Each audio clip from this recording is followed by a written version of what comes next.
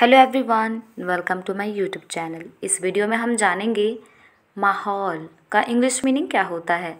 माहौल का English meaning होता है एम्बियंस और एटमॉस्फेयर आइए इसे हम एग्ज़ाम्पल से समझते हैं। Example the atmosphere here is very good यहाँ एटमॉस्फेयर का मतलब होता है माहौल। उदाहरण, यहाँ का माहौल बहुत अच्छा है। इसी के साथ इस वीडियो में बस इतना ही। Thank you so much for watching my video